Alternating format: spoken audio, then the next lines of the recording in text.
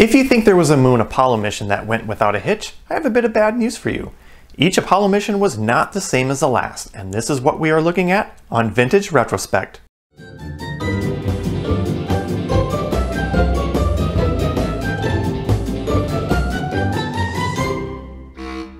Hello, I'm your host Chad, and this is Vintage Retrospekt, a small place where we can talk about spaceflight history that you probably haven't heard of.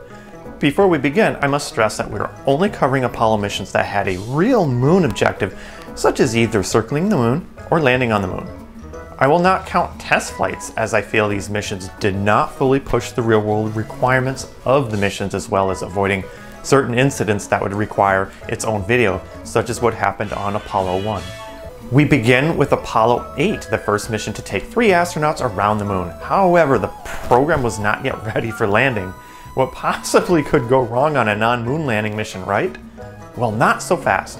Let's talk about the pogo oscillations that occurred by the five F1 engines. This problem occurs when the rocket is vibrating on the longitudinal axis, creating an effect similar to when someone is riding on a pogo stick.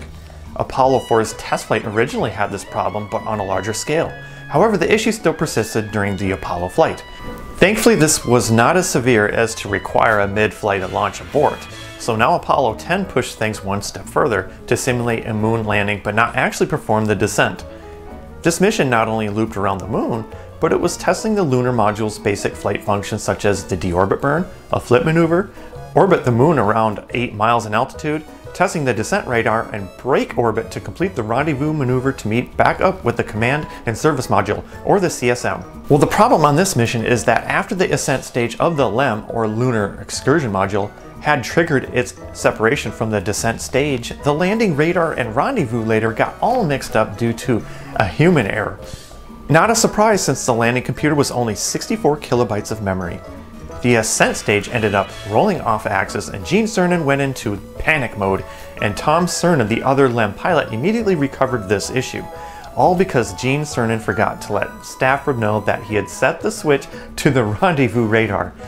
Keep this in mind for the Apollo 11 mission because something similar happens again, but with a different subsystem. Buzz Aldrin and Neil Armstrong during the descent down to the lunar surface, they were greeted with a concerning alarm called the 1202 alarm. This program alarm technically called for an abort, however, some ingenuity back at Mission Control had quickly analyzed the situation and had better news for the crew. What is a 1202 alarm? Well, we will go more into that details of that in a later episode, but basically it was a memory overflow which caused a conflict with the landing radar and rendezvous radar. It really came down to a design issue where the rendezvous radar and landing radar we're getting power from two different power buses, which affected the timing on how the computers processed this input and output. And that in turn overloaded the computer and caused the 1202 alarm. This takes us to Apollo 12 where problems in spaceflight get really crazy. During the liftoff of the Saturn V rocket carrying Pete Conrad, Alan Bean, and Richard Gordon, a bolt of lightning struck the vehicle at about 35 seconds into flight, and another strike occurred at T plus 52 seconds. These two rare incidents caused all three fuel cells to go offline. This meant that the spacecraft could only be able to operate on ba battery power only. The attitude indicator went out after the second strike, which garbled the telemetry at mission control. The flight miraculously continued requiring no abort since all systems either had redundancy or had recovered. So Apollo 13. Okay, yes, we had a problem here. overhead hatch is closed and the uh, heater current looks normal. Okay. Five guns. Go guide. We've This had is a Houston. Say again, please. I don't know what it was. Okay. CNC, you want to look at it? See if Yeah, you can Uh, get? Houston, we've had a problem. Roger, we're copying it, Capcom. You see a We've had a hardware? main B bus undervolt. You see an Roger, AC bus undervolt undervolt. there, guide? Or uh, EECOM? Negative flight. So as you heard in the clip, a call out from the mission commander Jim Lovell saying, We've had a main B bus undervolt. This was bad because the fuel cells would be delivering a low voltage to the power systems of the spacecraft. But all of this was caused by an explosion. Yes, this was the first explosion of a manned spacecraft in space. Don't worry, the crew made it safely back to Earth, and there were more problems that snowballed from this primary issue. I'll be taking this incident further in more detail in a later video as the Apollo 13 debacle would take too much time of this video. Be sure you subscribe so you don't miss out on that one. After much changes and refinement of the CSM, Apollo 14 went without any problems, right? Nah, Houston, we've had another problem.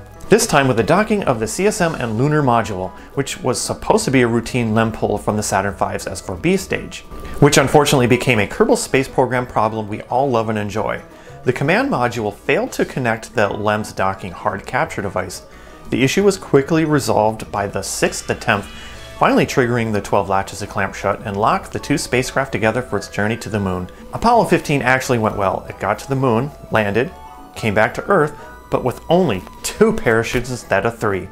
The problem seemed to stem from vented fuel damage to the third chute, but thankfully only two fully deployed chutes are actually required for safe recovery.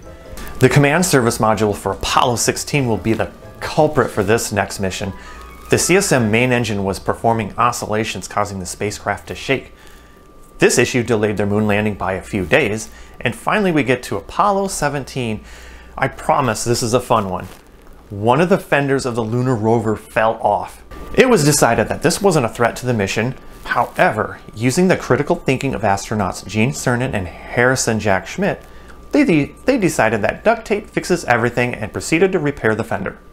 Apollo 17 would be the last flight of Apollo, and a new era of space exploration followed with the start of the Skylab program.